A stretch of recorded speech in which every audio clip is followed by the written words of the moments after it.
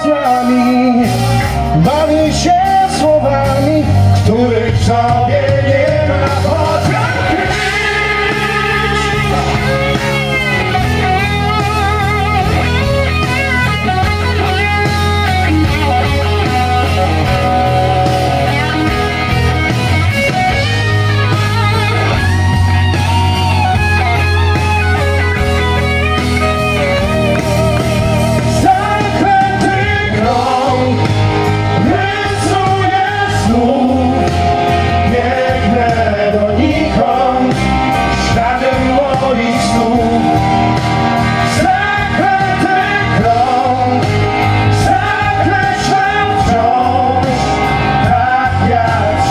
Amen.